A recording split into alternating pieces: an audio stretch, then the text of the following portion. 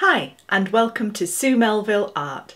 So today I'm doing some hints and tips on how to keep Pastelmat paper clean when you're doing a statement piece and I have six really cool tips for you. So as you can see I'm doing a piece at the moment, a collection at the moment on statement pieces. These are on A2 size Pastelmat paper, white Pastelmat and are really vibrant paintings. I've loved doing this collection. I picked white Pastelmat for the statement effect. When I picked it, I didn't really think through what a nightmare it is painting on white Pastelmat when you're using soft pastels and keeping white Pastelmat white. So I have learnt a few things, I've googled a few things and I thought I'd share them with you so that if you suddenly feel like you want to do this too, then you can benefit from the experience I've had. Okay, so our first two tips are in prevention. So tip one, when you're working on Pastelmat, cover the areas you're not going to paint. So in this instance, I covered this area in backing paper. So what this is, is um, it's a sticky plastic not paper, plastic.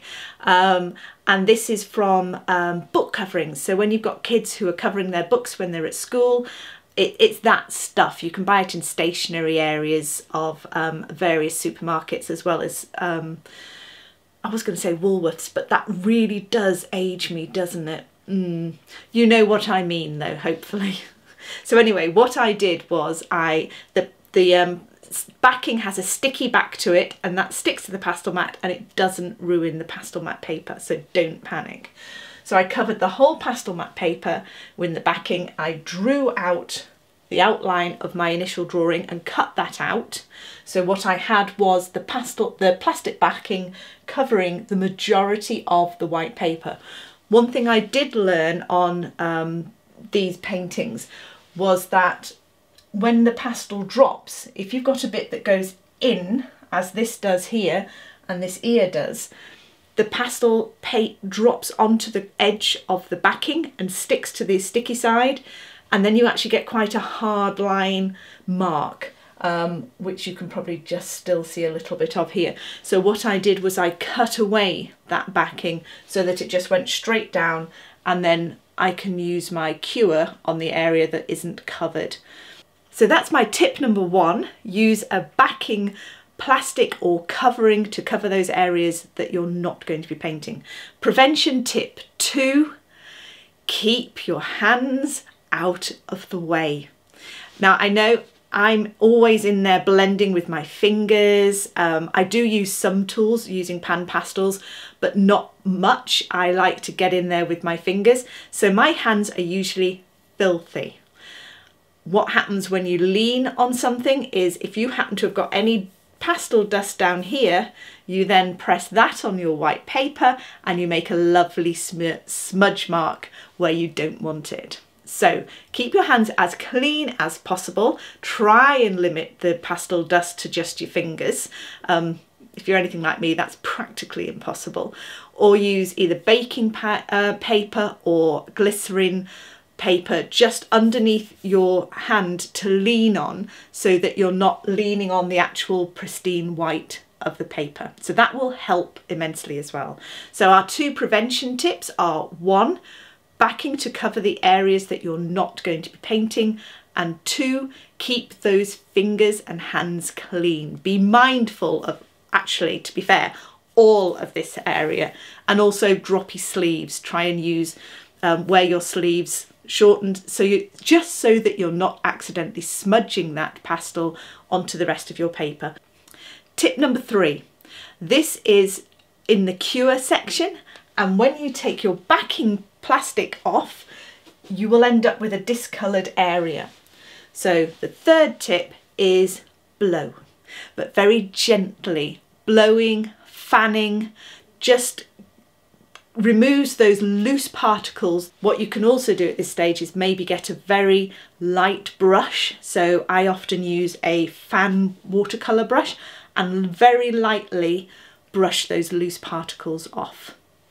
So what you'll get then is um, an area that's slightly discoloured but most of the most of the most of the loose pa um, pastel pigment has come off.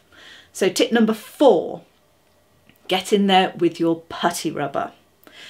Putty rubbers are fabulous. I use a, a number of them, but my favourite at the moment is a Faber-Castell one, which has a texture very similar to Blu Tack. So you can pull a bit off and really work away at that discoloured edge with your um, with your putty rubber.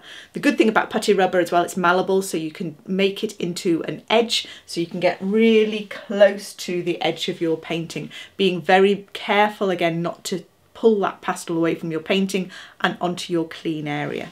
So that's so get in there with your putty rubber. Now you, you need time to do this and take your time. Be careful, take your time. Um, it took me about an hour to clean up this um, area with the with the putty rubber. Always make sure that you keep checking the putty rubber as well. So once it picks up pigment, it can also put pigment back down again. So check your putty rubber, turn it over, move it around so that it's always got a clean surface on there. So, so far we've got backing, protection of your hands to keep your hands clean, blowing and gently brushing loose pastel and then working with your putty rubber to get that discoloration off. Step five. So you're now left with just the stubborn stains. So what we do now is get some water. And I know water and pastels do not mix. But Pastelmat paper is a mixed media paper.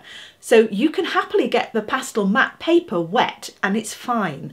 Um, keep it taped down on your board as you were when you were drawing it because it will buckle when it's wet as watercolour paper does but after 24 hours drying it dries totally flat again. Um, so keep it taped but don't be afraid to use water. Just be very careful not to get water on your painting. So what I do is I use a white cloth because I've got a white background. I don't want any pigment from my cloth to get on the paper. I'm getting pigment off the paper, not back on it. So I'll put the cloth around my finger usually spray that with some water or dip my finger in some water. Make sure that squeeze the excess off, you don't want it too wet, and then work that into the areas of colour and just lift that colour off.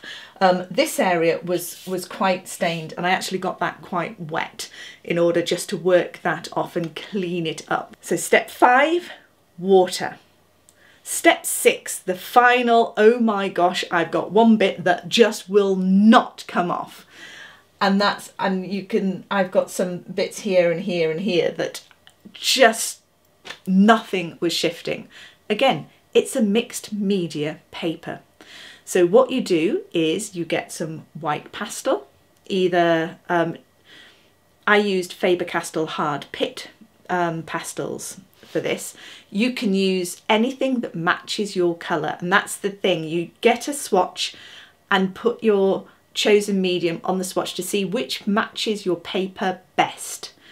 So you can use a hard pastel, a soft pastel or gouache even and just see which blends in best with your Pastelmat paper. So I used some hard pastel. For me, the Sennelier soft white was a bit too bright for my paper um, and I didn't have any gouache left. So i I used the hard pastel, which works fine. And what you can do is just gently colour over that stain, blend it in with your finger and although if you are looking for it and you know it's there, you can still see that mark, once it's framed and on a wall, you're not going to notice it's there. And that's how you maintain your clean Pastelmat with just six easy steps. I hope that was useful for you.